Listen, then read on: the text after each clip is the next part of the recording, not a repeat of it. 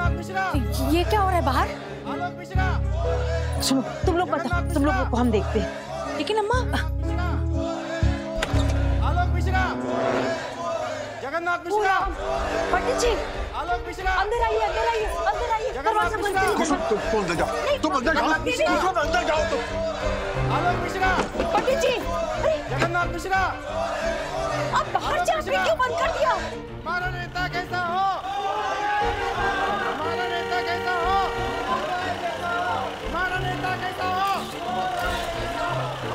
नेता कैसा हो? हमारा नेता कैसा हो? ये पंडित जी गुस्सा मत होइएगा। ओ राम पंडित जी।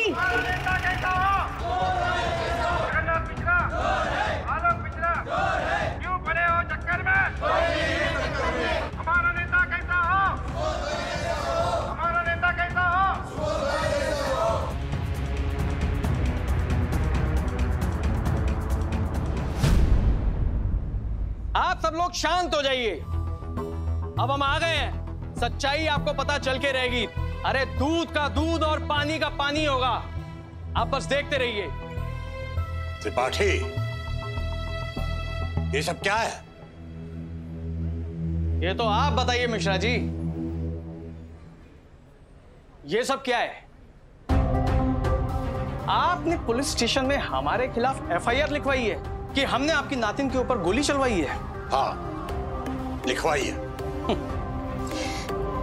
आप जानते हैं ना मिश्रा जी कि हम कौन हैं? कोई भी हो गुंडागर्दी करवाओगे तो जेल तो जाना पड़ेगा त्रिपाठी सुन रहे भाइयों आप लोग जानना चाहते थे ना कि हमारे खिलाफ एफआईआर क्यों हुई?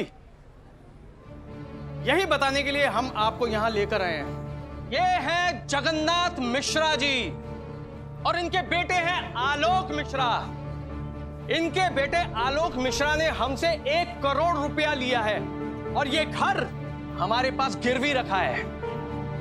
बाप बेटे मिलकर पैसा तो दे नहीं पा रहे, इसीलिए दोनों ने मिलकर हमें झूठे केस में फंसा दिया। एफआईआर करवा दिया हमारे ऊपर।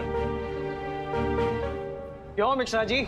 त्रिपाठी घर तो तब गिरवी रखा जाता ना, जब इस पर हमारे दस्तखत होते। इन कागजों में जो भी दस्तखत हैं, ये नकली हैं। हमारे दस्तखत नहीं है ये। इसलिए ये पूरा का पूरा कॉन्ट्रैक्ट ये इनवैलिड है। इनवैलिड वाह, मिश्रा जी। अच्छा तरीका चूना लगाने का। और जब पैसा लौटाने की बात आई तो दस्तखत नकली हो गए। अरे, हम आपसे पूछते हैं कि अगर इन पेपर पर दस्तखत नकली हैं तो ये नकली दस्तखत किए किसने? इनके बेटे ने ना? हाँ। हमारे बेटे ने किए हैं। उसने नकली दस्तखत किए हैं और इसलिए हमने उसे भी नहीं छोड़ा। बाकायदा पुलिस स्टेशन जाकर उसके खिलाफ एफआईआर दर्ज कराई। गिरफ़्तार करवाया उसे। और आज सुबह जाकर उसकी बेल भी करवा दी। कमाल है। अच्छा खेल खेल रहे हैं दोनों बाप बेटे मिलकर। अरे मैं तो कहता हूँ ये दोनों बाप बेटे एक नंबर के चोर हैं चोर। चोर हैं ये। जगन्नाथ मिश्रा। आलोक मिश्रा। जगन्नाथ मिश्रा। आलोक मिश्रा। आलोक मिश्रा। जगन्नाथ मिश्रा। चुप रहिए आप लोग। जगन्नाथ मिश्रा चोर नहीं है। जगन्नाथ मिश्रा वरिष्ठ अभियंता जल निगम वाराणसी चोर नहीं है। ज़िंदगी में कभी हमने बेईमानी नहीं की। सारी दुनिया ये जानती है कि ये सच है। और ये भी सच है कि नकली दस्तखत करने के वास्ते हमने अपने बेटे के खिलाफ एफआईआर दर्ज कराई थी। ये एक बाप का फ़र्ज़ था। और ये भी सच है कि एक माँ ने उसकी बेल करवाई। ये उसका हक था। अरे तो ऐसा क्यों नहीं कहते मिश्रा? कि ऐसी गोल मोल बातों में उलझाकर दूसरे लोगों का पैसा डकार जाना चाहते हो।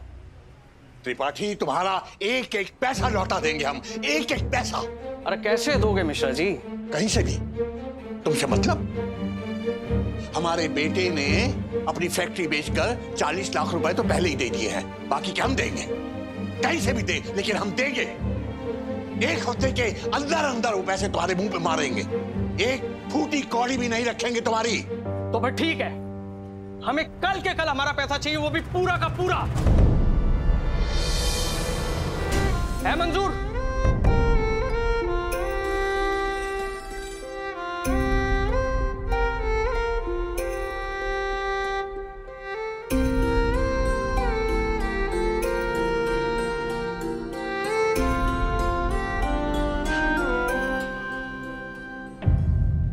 मंजूर है